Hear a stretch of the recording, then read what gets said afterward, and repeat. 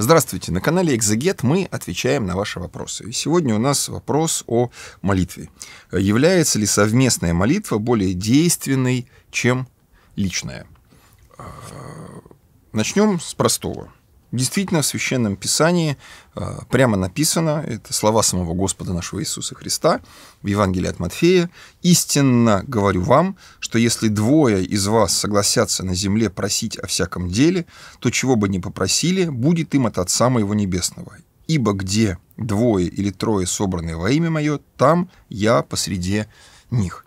Поэтому Господь прямо благословляет нашу совместную молитву. И именно э, совместная молитва и является собой церковь.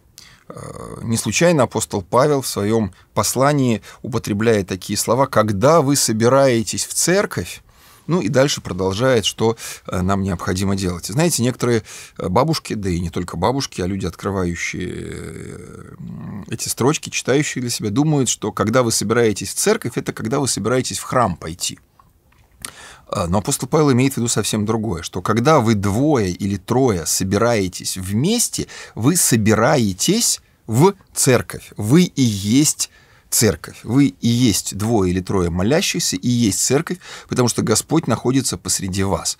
И поэтому в церкви с древнейших времен существует так называемое, то, что сейчас называется таким канцелярским словом, общественное богослужение, когда мы действительно собираемся вместе в храме, например, или не обязательно в храме, это может быть где-то даже на природе, какой-нибудь крестный ход, например, или еще что-нибудь. Но мы собрались вместе для того, чтобы Господь был посреди нас. И эта молитва действенна, потому что Господь прямо обещает нам, что Он э, исполнит наше прошение, если мы согласимся просить его о некоем деле. С другой стороны, само по себе слово «действенный» является в некотором смысле соблазнительной являя, еще раз прочитаю вопрос, который нам задают, является ли совместная молитва более действенной, чем личная? Здесь так и хочется сказать, что, наверное, у личной молитвы эффективность будет 3 килоджоуля, а у совместной молитвы, наверное, целых 5.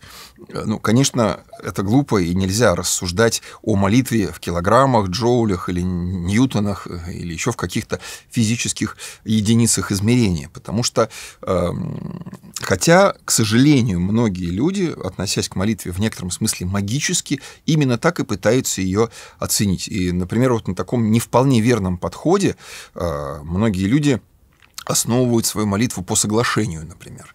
Что вот чем больше мы сейчас наберем народу, и обязательно в одно и то же время э, эту молитву прочитаем, и обязательно вот с такой формулировкой, чтобы у всех были запятые одинаково расставлены, вот, и прошение было дословно одинаковое, э, потому что вот да, как мы же опираемся на слова Господа, согласятся они на земле просить о всякой вещи, то тогда Господь, вот, ну, Он тогда уж точно нас услышит. Такая магия православная. И, конечно, этого делать не нужно, потому что на этой теме спекулируют многие люди, э, в том числе и, так сказать, желающие каких-то финансовых пожертвований. Но даже если и без этого, вот если мы оставим все это за скобками, потому что часто люди, желая получить просимое, да и деньги-то любые готовы заплатить, и в этом, в общем, может быть, нет ничего дурного, человек готов все отдать, лишь бы Господь помог, услышал, ответил.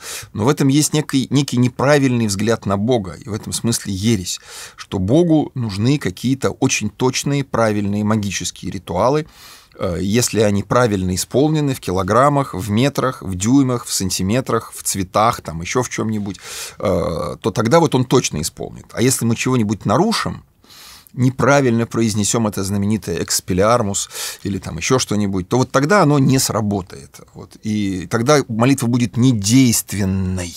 И поэтому вот само употребление слова действенным, действенное или недейственное по отношению к молитве, оно такое вот э, условное. То есть мы должны понимать, да, что ведь действует в конечном счете не молитва.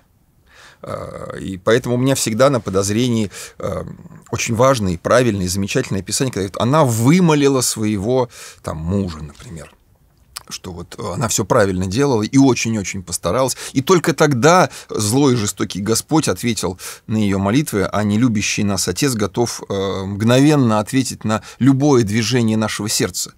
Другой вопрос, что движение этого сердца должно быть. И, конечно, когда движение многих сердец направлено на одно, э, Богу в некотором смысле проще сделать нас, молящихся, соучастниками Его милости, изливаемой на нас. Мы своей молитвой ничего не можем добавить ни к Его любви, ни к Его милости.